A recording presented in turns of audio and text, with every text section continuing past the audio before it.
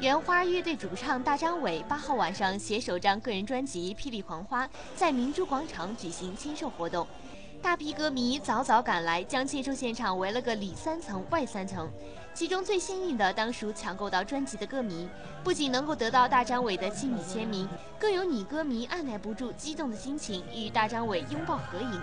场外的歌迷也没闲着，手机、相机一起登场，争相捕捉大张伟的镜头。大约晚上九点左右，签售活动告一段落，不少歌迷仍然意犹未尽，呼喊着偶像的名字。南海网实习记者王静报道。